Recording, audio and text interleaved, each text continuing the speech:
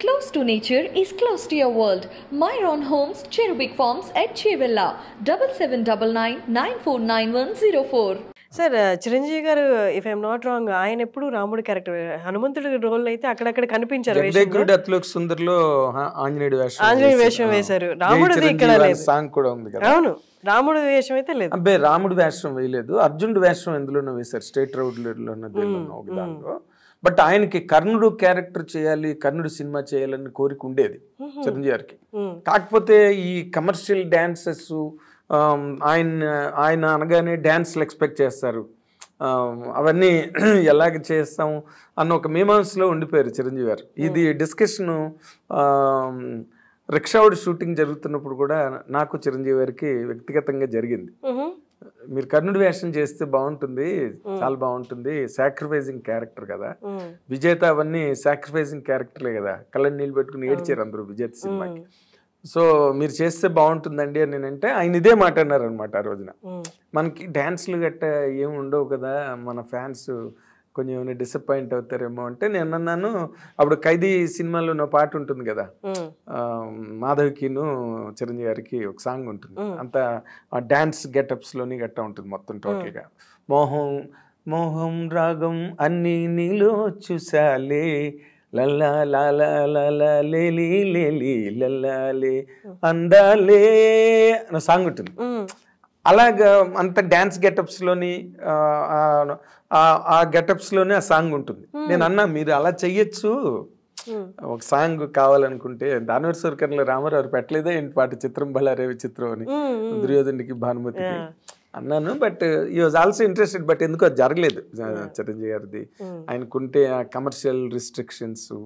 ఇప్పుడంటే సినిమా బాగా మారిందమ్మా. ఎందుకంటే today Telugu cinema became an Indian cinema. Indian cinema. Pan India cinema ఇప్పుడు ట్రెండింగ్. కాబట్టి ఇప్పుడు చెల్లుతోంది ఏదైనా చేయడానికి ఆ బడ్జెట్స్ కానీ లేకపోతే ఆ రికవరీ టెరిటరీ ఇవన్నీ చాలా పెద్ద గొడవ కదా. మ్మ్. సినిమా అంటే ఇదేదో చారిటబుల్ ట్రస్ట్ కాదు కదా. Lot of money is involved. మీరు as you spoke about commercials and fan నాకు నే- నా క్వశ్చన్ నెక్స్ట్ క్వశ్చన్ దాని బేస్డ్ మీద అనమాట యూజువల్లీ ప్రభాస్ గారికి ఫ్యాన్స్ అవ్వడానికి వన్ ఆఫ్ ది క్వాలిటీ ఏంటి అంటే చాలా తక్కువ మాట్లాడతారు. అంటే ఫ్యాన్స్ ఎదురు చూస్తుంటారు అనమాట ఎప్పుడు మాట్లాడతారు? ఒక్కొక్క మాట మాట్లాడితే ముత్యంలా చూస్తుంటారు. మనం రీసెంట్ మన బాహుబలి ముందు వరకు కూడా ప్రభాస్ గారిని తక్కువ మాట్లాడడం చూసాం.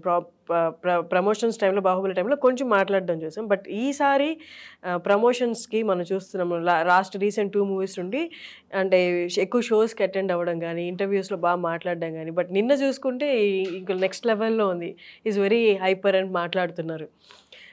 కమర్షియల్ వైజ్ ప్రభాస్ గారు వచ్చి బయటకు వచ్చి ఎక్కువ ఎక్స్ప్లెయిన్ చేస్తేనే కానీ ప్రోడక్ట్ ప్రాజెక్ట్ గురించి లేకపోతే ఆ క్యారెక్టరైజేషన్ గురించి కమర్షియల్లీ అన్ని నెంబర్స్ రావాలని మాట్లాడుతున్నారా? లేకపోతే హీ హిమ్సెల్ వెరీ అంటే కొంచెం నార్మల్గా ఆయన తక్కువ మాట్లాడే టైపే సో ఫ్యాన్స్ దీన్ని ఒరిజినల్ ఒరిజినాలిటీలా తీసుకుంటారా? లేకపోతే ఇది కమర్షియల్ వైజ్ కోసం మూవీ కోసం చెప్పాలి కాబట్టి వర్కౌట్ అవ్వాలి కాబట్టి మాట్లాడుతున్నట్టు తీసుకుంటున్నారా? అంటే అలా కాదు. మామూలుగా ప్రభాస్ బేసిక్గా మాకు చిన్నప్పటి నుంచి మెడ్రాస్ రోజుల నుంచి తెలుసు కాబట్టి షై పర్సన్ బేసిక్గా ప్రభాస్. అండ్ కృష్ణరాజు గారు ఒక గాడ్జియస్ ఫిగర్ ఇండస్ట్రీలో సో ఆయన దగ్గర బయటకు వచ్చి మాట్లాడడానికి గట్ట ఎప్పుడు అవకాశం రాలేదు. బేసిక్గా వాళ్ళు కొంచెం బాగా ఫాదరు ఆయన కూడా ఎప్పుడు బయటకు వచ్చి ఎక్కువగా పెద్దగా మాట్లాడిన సందర్భాలు లేవు. అదే అలవాటు ప్రభాస్ కూడా వచ్చింది యాక్చువల్గా అయితే. ఎందుకంటే నేను వర్షం సినిమా చేసినప్పుడు కానీ రాఘవేంద్ర సినిమా చేసినప్పుడు కానీ ఇవన్నీ కూడా అసలు రాఘవేంద్ర సినిమా జరుగుతున్నప్పుడు నేను అప్పుడు శివరంజన్ మ్యాగజైన్ ఎడిటర్గా ఉన్నా. ప్రభాస్ కవర్ పేజ్ చేద్దామని నేను చాలా ట్రై చేశాను అతను చాలా షై ఫీల్ అయ్యాడు. నాది కవర్ పేజ్ ఏంటండి? నాది కవర్ పేజ్ ఏంటండి? అన్నాడు. అంటే నేను పట్టుబడి లేదు Prabhas are going to be something in the coming days నాకు తెలుసు I can see your future ఆ కాషాయ వస్త్రాల అది.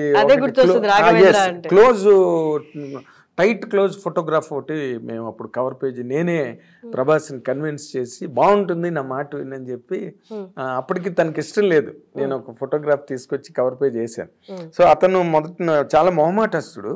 బట్ ఈ సినిమా వరకు తనెవరు? అమ్మాయి హీరోయిన్ సీత క్యారెక్టర్ చేసింది ఇందులో. కృతి సన ఆ, కృతి సన్నను మన స్టేజ్ మీద మాట్లాడుతూ అంది కదా ప్రభాస్ ఏం తక్కువ మాట్లాడు ఎక్కువే మాట్లాడతాడు అని చెప్పి మాట్లాడింది. ఈ మధ్య రోజుల్లో తను బాహుబలి దగ్గర నుంచి నార్త్ కూడా బాగా ఎస్టాబ్లిష్ అయ్యి బాగా తను ఇమేజ్ బాగా స్ప్రెడ్ అయిన తర్వాత కూడా తను పెద్దగా మాట్లాడిన సందర్భాలు ఎక్కడ లేవు. అంటే పిఆర్ సజెస్ట్ చేశారా సార్? మాట్లాడాలి ఇంకా నువ్వు అని? పిఆర్ పీపుల్ సజెస్ట్ చేయక్కర్లేదు. తనకు తెలుసు. ఎందుకంటే ఇప్పుడు Adipurush cinema world wide release. ఇప్పుడు బాహుబలి టైంకి అక్కడ టవరింగ్ ఇన్ఫ్లుయెన్స్ నేమ్ ఎవరిదంటే రాజమౌళిదే. రాణా కాదు ప్రభాస్ కాదు. ఎవరు కాదు. అక్కడంతా రాజమౌళి నేమే సేల్ అయింది. బేసిక్గా.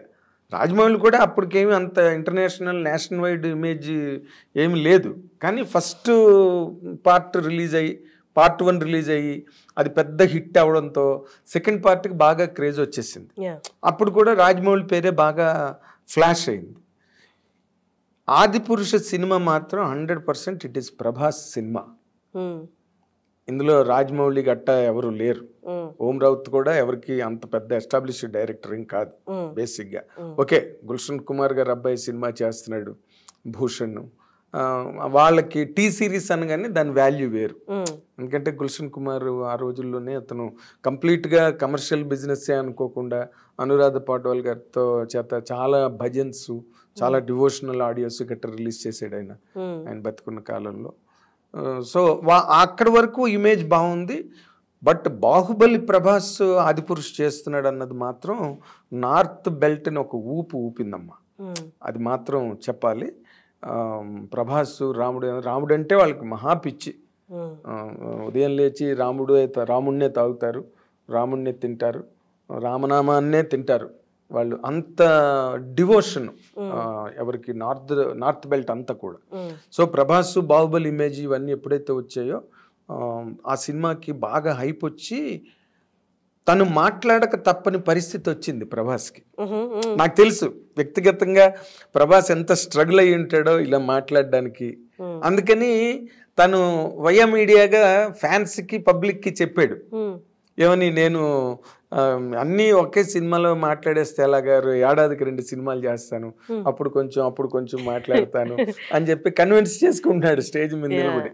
అక్కడే తన స్ట్రగుల్ అర్థమవుతుంది బేసిక్గా. తను ఎక్కువ మాట్లాడే వ్యక్తి టాకెటివ్ పర్సన్ కాడు బేసిక్గా. పది మంది కూర్చుని మాట్లాడుకుంటున్నప్పుడు కూడా అందరికీ సరిపోయినట్టుగా ఒక నవ్వు నవ్వుతాడు లేకపోతే ఒక మాట అంటాడు ఏదో అలా నడుస్తుంటుంది ప్రభాస్తో. సో పిఆర్ టీమ్ కన్సల్టేషన్ ఏం లేదు ఇందులోని. But Prabhas himself realised the importance of speaking about the films.